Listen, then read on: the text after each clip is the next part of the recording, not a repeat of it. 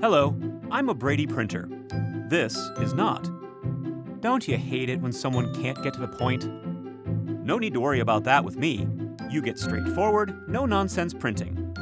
Apparently, not everyone shares that sentiment. Wait, what screen was that? I think this is menu option 5. What? Option 6. Oh, I've just lost track. Here, let me show you how it should be done.